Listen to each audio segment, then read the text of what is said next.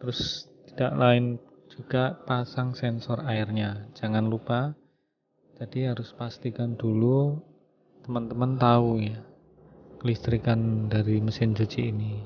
Jangan sampai uh, keliru akibatnya fatal. Jangan lupa like